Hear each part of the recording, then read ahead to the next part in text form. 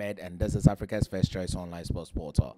Kell Brook has been seen in a viral video sniffing a substance, doing some lines. I think where he was would be his house because you could see a picture of himself. That means the person who took the video of Kell Brook is a very close ally of Kell Brook, and I don't know the reason why that person would go ahead to sell the video to the Sun newspaper because if you watch the video, the Sun is written in the video as a more watermark.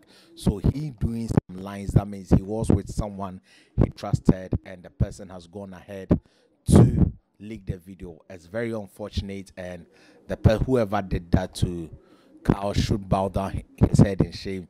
Besides that, Kell himself must start seeking help because he has stated that he wants to come back to boxing and doing drugs is not the right way to go. Doing drugs is not allowed in boxing.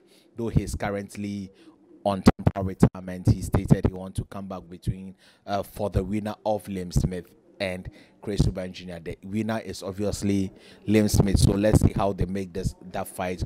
Will the fight be at Junior?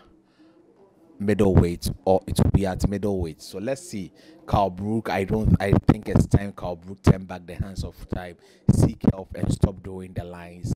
It's not good for his health because he wants to continue the career and if and if that happens he would fail series of drug tests and that would bring enough disgrace to his family. This one itself is kind of a little bit disgraceful because he is a role model, especially for the kids in Sheffield. Thank you for watching. Stay positive. Remember, there is no limit to greatness.